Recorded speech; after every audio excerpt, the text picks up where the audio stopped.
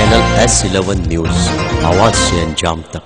वापी चलो राजस्थान भवन पर राम रत्ना समूह द्वारा व्याख्यान कार्यक्रम का हुआ आयोजन। 19 अप्रैल की शाम वापी चनोद राजस्थान भवन हॉल पर आरआर ग्लोबल माहेश्वरी सेवा समिति माहेश्वरी महिला मंडल के संयुक्त सहयोग से राष्ट्रीय संत गोविंद देव गिरी जी महाराज के व्याख्यान कार्यक्रम का आयोजन किया गया, जिसके अंतर्गत उपस्थितियों को संत महाराज जी द्वारा सुखी जीवन के सूत्र का ज्ञान परोसा गया। तो साथ ही सुखी रहने विषय पर दृष्टांत द्वारा जीवन सूत्र समझाए गए। इस अवसर पर भारी संख्या में भाई बहनों ने उपस्थित रहकर